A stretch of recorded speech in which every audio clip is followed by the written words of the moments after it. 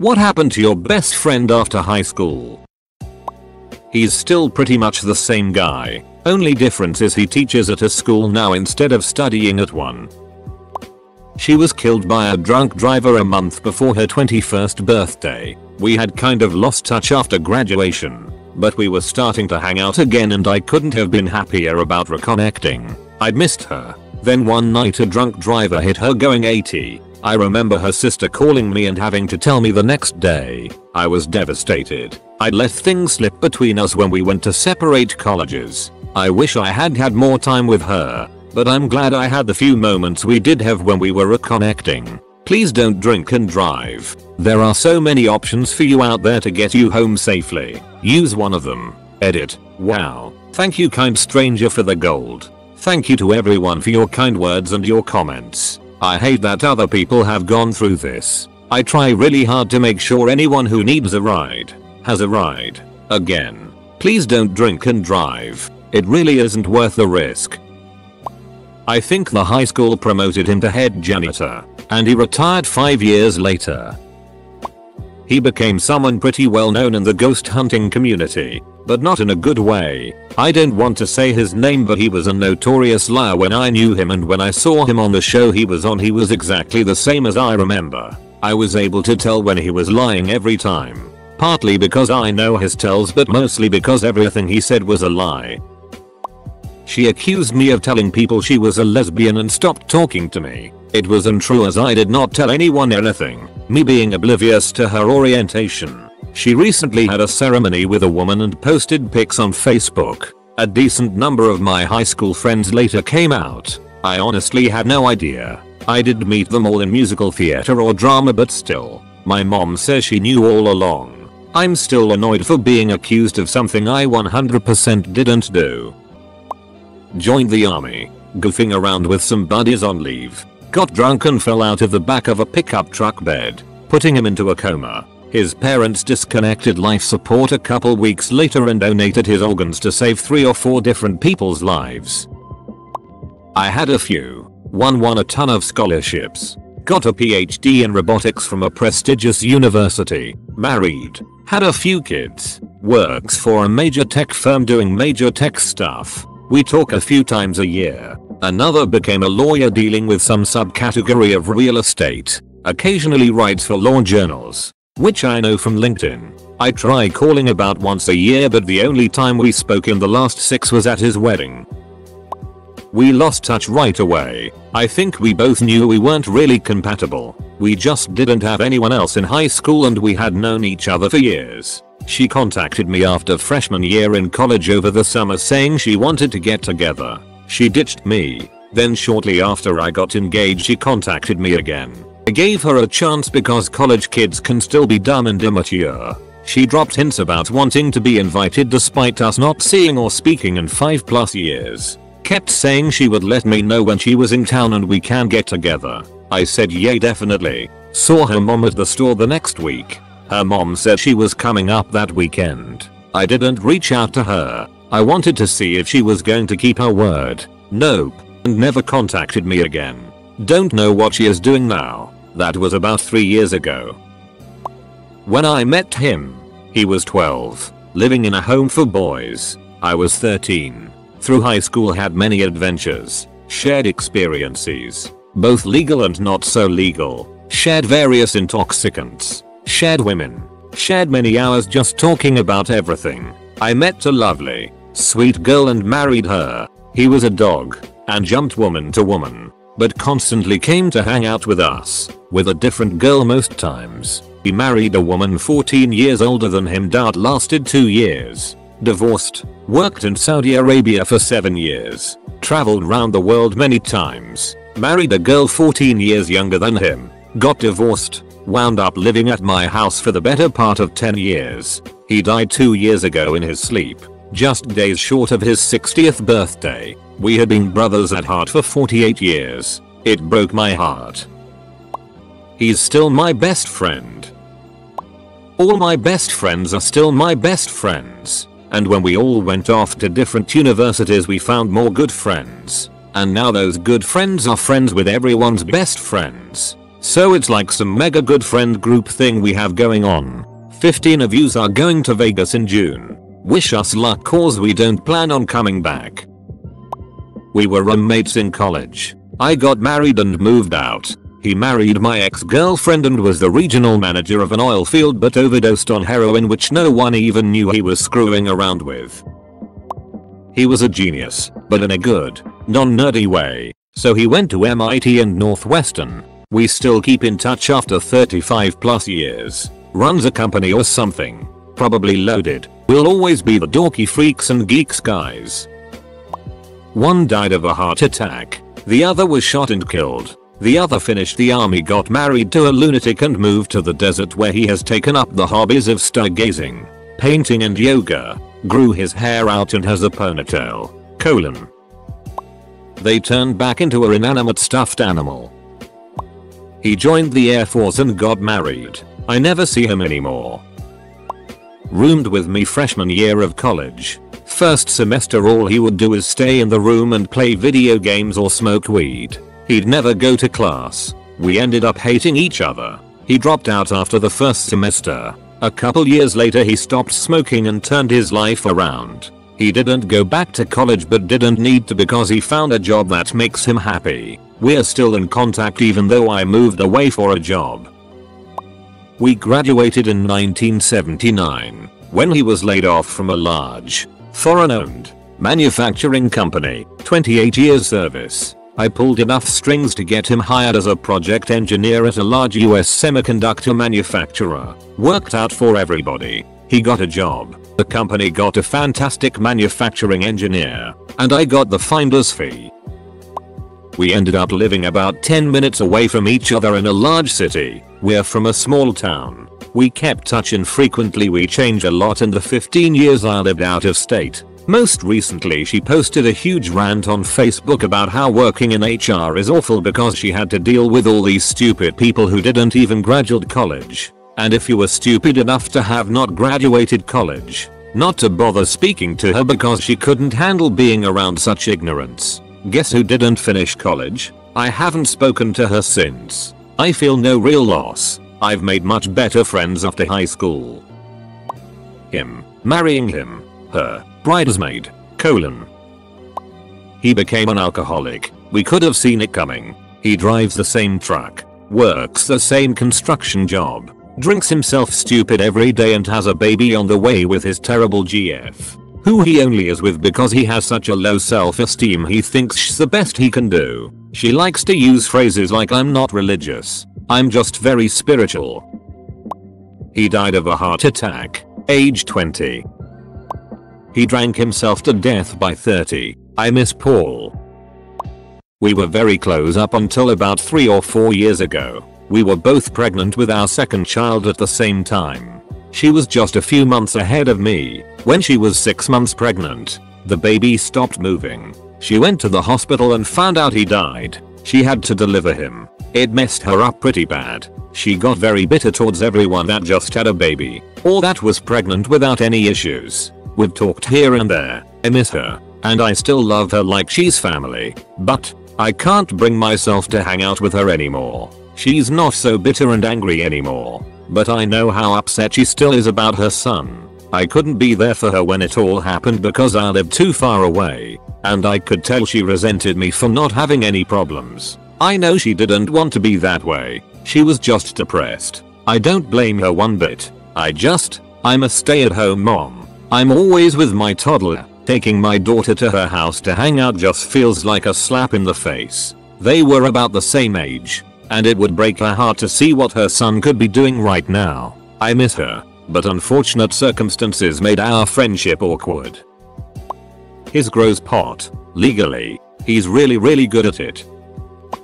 My three best friends I all worked on the newspaper within high school. None of them work for newspapers. But they've all found success in their own careers. One of them is now a high school English teacher, who, I've heard, is quite popular with his students, another one just graduated from med school, and the third, who was probably my best friend in all of high school, now lives in California and works for Google. He was diagnosed with colon cancer at age 45. years before they recommend you be tested for that, and died. Edit. If you are over 40, male or female, and haven't had a colonoscopy, get one.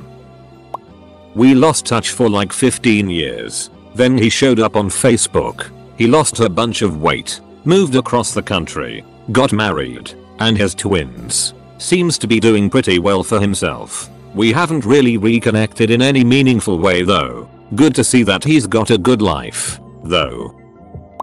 I'm beyond lucky to be 26 and have a daily group chat with my whole team of 6 friends from high school. Everyone is finding their own path. No tragedies although some a little more lost than others. Again I feel honestly and truly fortunate we haven't lost touch almost 10 years after graduation.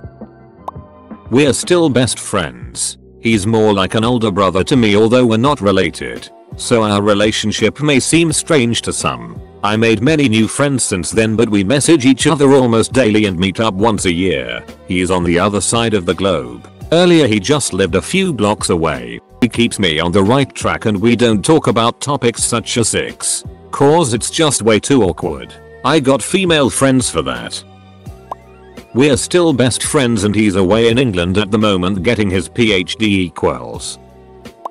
He graduated a year early, went into computer science at a school 4 hours away, graduated from that a year early too with his bachelor's, Got a job at his college working for their IT department making 70 grand a year plus contracts at 19 years old. Decided to transition into a woman 5 months ago. Started hormones and is doing well. Her family completely disowned her over it. But she's such a strong individual that it's just a small bump in the road. I've been there for her since elementary school and I ain't going nowhere. Very interesting and smart person and I have the utmost respect for her. The only person I have ever met who shared most of the same personality traits as myself.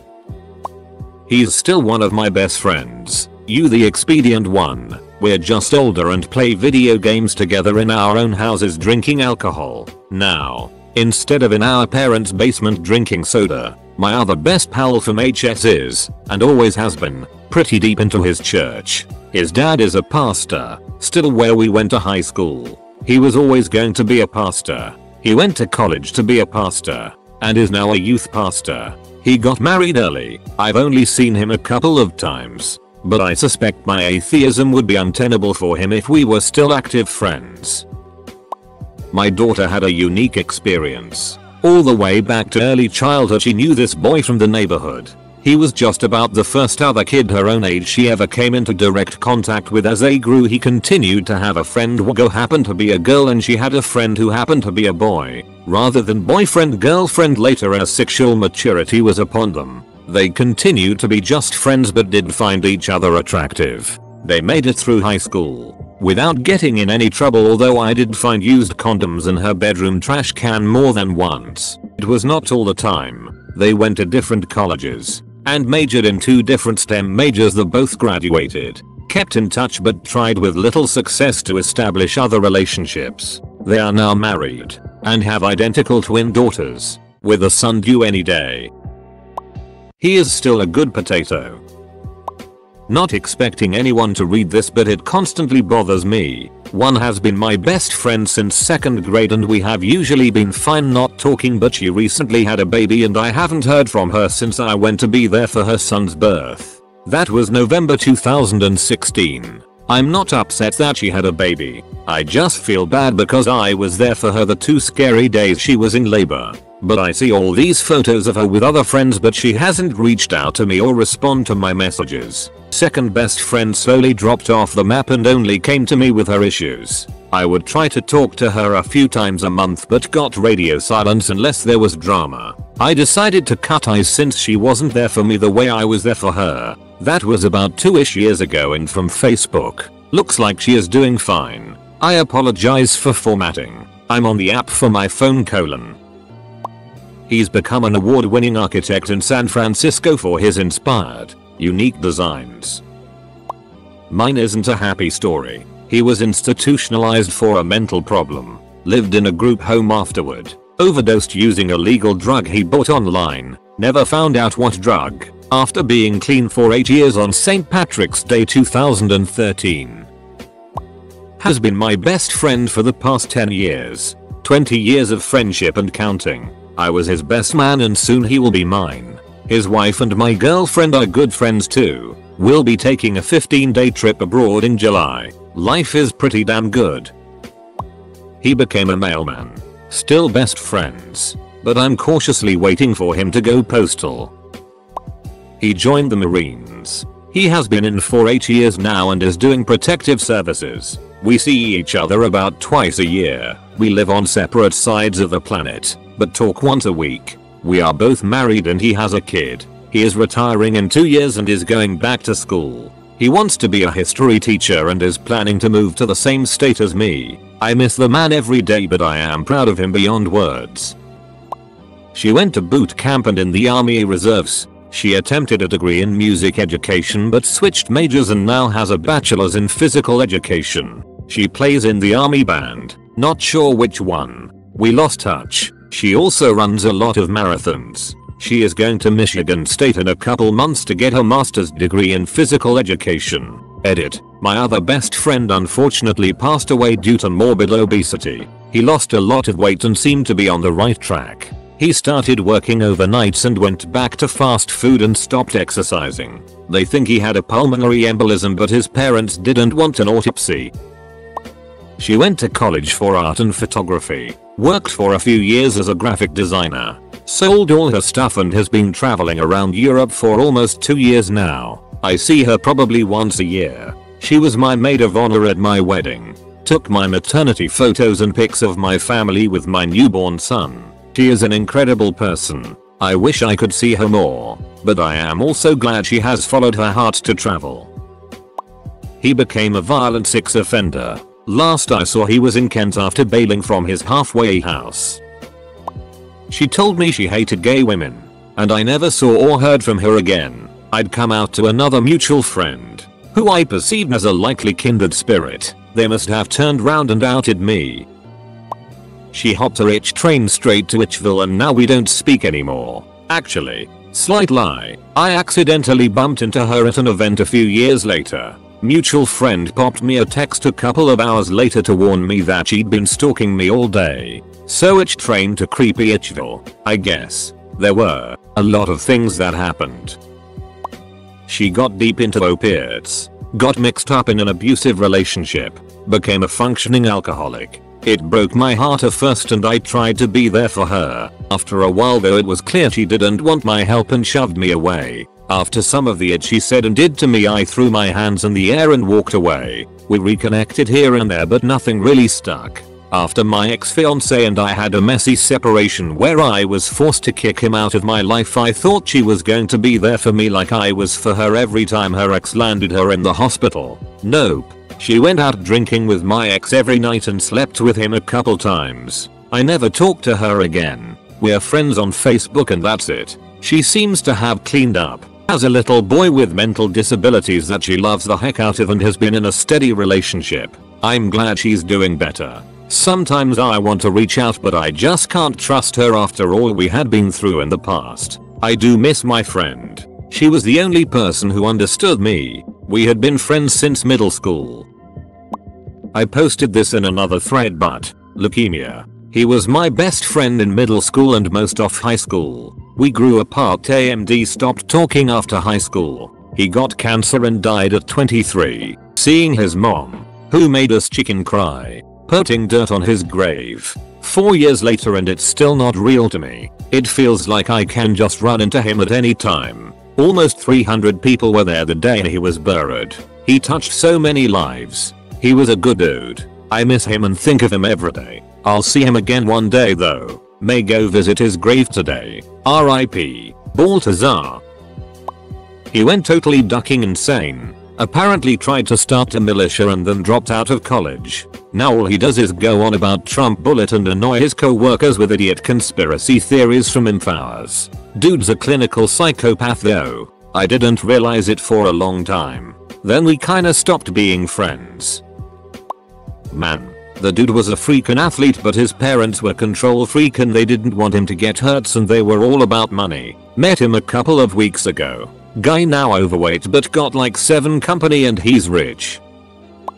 Started hanging out at friends' houses and skipping school until she missed so many days she dropped out. Her mom would always wonder where she was and I'd tell her I had no idea. Because most of the time I didn't. At one point she was addicted to crack and then got clean. Got pregnant by her unemployed boyfriend. They moved into a trailer and had another kid. The last time I talked to her she borrowed 60 bucks and said she'd come to my wedding but never showed up. I gave up trying to keep in touch a while ago. It's a shame because even though we came from very different socio-economic backgrounds, we'd have a lot of fun hanging out together. Kinda made us drift apart because she had ample opportunities to make her life better. She just avoided trying and has been dealing with the consequences ever since.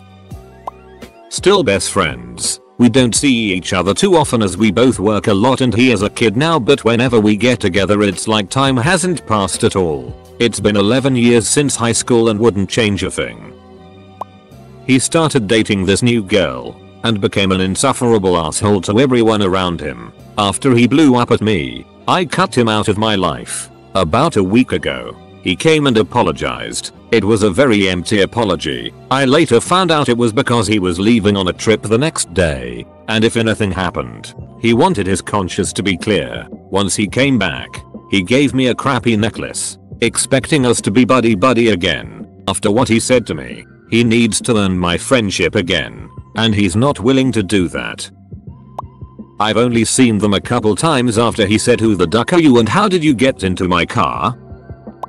Stayed best friends until November of last year. I was going through a suicidal patch and he stopped being supportive of me outside of saying that sucks. Texting him every day became more of an obligation to keep the friendship going than something enjoyable. Eventually I wound up making a really rude comment about a girl that got fat and he called me out on it because he had body image issues himself that I knew about. I admitted I was wrong and said that I was going through a rough depressive patch that was making me cynical and angry. He told me that he couldn't deal with my negativity in his life anymore because he was moving on to bigger and better things. I never responded to him. I think he was right for dumping me as a friend. I was negative and probably bringing him down. The friendship was also fizzling out and I think he realized that too. He wound up deleting me on all social media which kinda hurt. But I knew where he was coming from. I honestly hope things are going well for him and he's off doing amazing things. We had some great memories. We're no longer friends.